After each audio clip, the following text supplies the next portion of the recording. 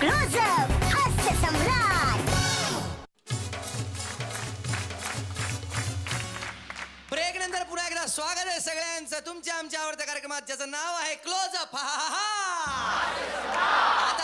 मराठीत आणि मराठीतून हसवण्यासाठी आपले पाचही स्पर्धक तयार आहेत. आणि आता जो राऊंड आहे तो आहे रॅपिड फायर राऊंड म्हणजेच विनावाहक बस सेवा. याच्यानंतर एका मागोमाग एक परफॉर्मन्स येतील आणि इथे परफॉर्मन्स सादर करतील. मध्ये कुठलीही आडकाठी नसेल ना माझी ना परीक्षकांची. फक्त परफॉर्मन्स आणि तुम्ही.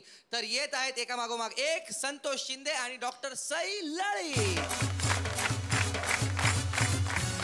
तर विषय संताख्यान ते जनताख्यान प्रथम संतांच्याकडे वळू.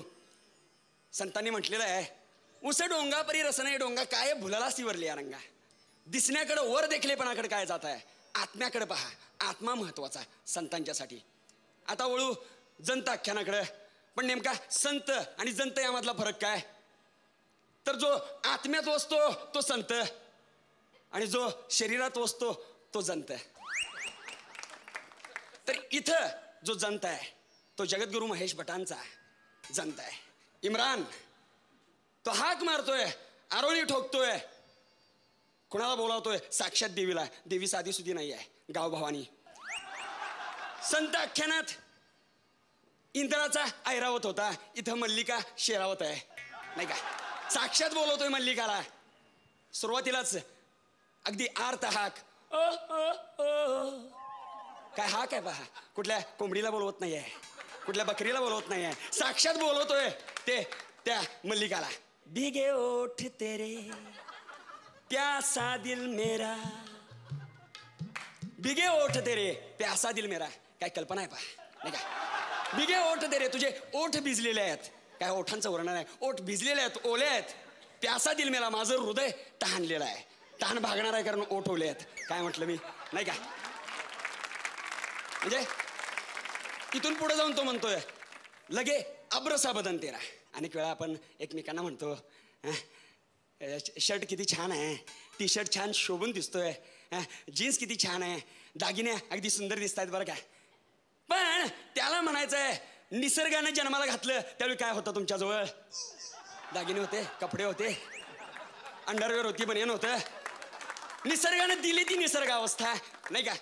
हीच निसर्गावस्था हवे त्याला. म्हणून लगे आब्रसा बदन तेरा. पुढे छा फार छान म्हणतोय तो. कभी मेरे साथ कोई रात गुजार. काय मनाचा मोकळेपणा आहे पहा. ना लज्जा ना अब्रू ना शरम. आणि सगळ्या भक्तांच्या साक्षीनं तो अ, अ, कभी मेरे साथ कोई रात गुजार. असं म्हणतोय. म्हणजे कुठलंही भय नाही लज्जा नाही. आणि म्हणजे पहा अगदी अ, चहाला बोलवल्यासारखं निमंत्रण. नाही का? अगदी सहजपणे निमंत्रण देतोय. संतांनी सुद्धा महत्त्व दिलं एकरूपतेला पण त्यांची एकरूपता म्हणजे देव पाहावयास गेलो देवची होऊन आलो. आणि इथं आकार पाहावयास गेलो विकाराची घेऊन आलो. नाही का? विठ्ठल विठ्ठल विठ्ठल विठ्ठल. नमस्कार. मी डॉक्टर आहे आणि माझी प्रॅक्टिस तुफान वगैरे चालते. तुम्हाला आता सगळं माहितीच आहे. पण प्रॅक्टिसच्या सुरुवातीचाच एक प्रसंग सांगते. पेशंटची खूप वाट बघायला लागायची. दहा पंधरा कविता लिहून झाल्या तरी पेशंट यायचे नाहीत. दिवसातून तीन चार पेशंट मिळायचे. एक दिवशी अशीच कंटाळून वाट बघत बघत होते. त्यावेळी त्या दवाखान्याची घराची मालकीण तिथं आली आणि मला म्हणाली बाईनू तुम्ही डासकरकी करण्यापेक्षा शिवण कलास करू खय होतो. मी एकदम हक्काबक्काच झाले. शिवण कलास? होय. म्हणजे खै पडदे मार खै टिपो मार खै परकर मार खै लेंगे मार हां? दिवसात चार पाच तरी गिरायका गावली असती ना. माझं भाडा तरी वेळेवर गावला असता मका कशा की डॉक्टर की गेलास कशा केलास हा? तर असे काही सुरुवातीचे प्रसंग. आमच्या कोकणातल्या माणसांइतकीच रोगांची लक्षणं जिवंत आणि प्रत्ययकारी कपाळ दुख दुखणार ना फुट्टा. मेंदवाचा मेंदवाचा भुगो होता. काळजाचं पाणी होता. सकाळीच उठल्यावर कलकलनी भरता. सगळा बाई निसता खळवटान काढल्यासारख्या वाटता. अंगभर निसते मुंगळे धावतात. हा? बॉम्बियाकडे उडावता. थर्मरी भरता. ही सगळी लक्षणं ऐकून डॉक्टरच्या काळजाचं पाणी पाणी जातात सलाईनवर भरपूर आपुलकी. मुलगा किंवा सुनाने म्हाताऱ्याला किंवा म्हातारीला सलाईन लावलं की त्यांना एकदम श्रावण बाळ झाल्यासारखं वाटतं. अशीच ऑक्टोबर महिन्यातली कलती दुपार चार वाजलेले होते तीन वाजता दवाखाना उघडलेला होता. एकही पेशंट नव्हता. काय आता सांगणार? हां? खरं सांगायला काय भीती नाही कोणाची. एकही पेशंट नव्हता. आम्ही पेशंटची वाट बघत होते आणि एवढ्यात लांबून एक म्हातारी मला दिसली थकून भागून येत होती. नजरेच्या टप्प्यात आली हळूहळू दरवाजाकडे आली. दरवाजाकडे आल्याबरोबर मी उठले आणि तिला हाताला धरून आत आणलं. म्हातारी दमलेली होती मी तिला पाणी दिलं. म्हातारीला व्यवस्थित तपासलं. चारची वेळ चहा मागवला. वीस रुपये बिल झालं पंधरा रुपयेच घेतले जाऊन दे म्हटलं.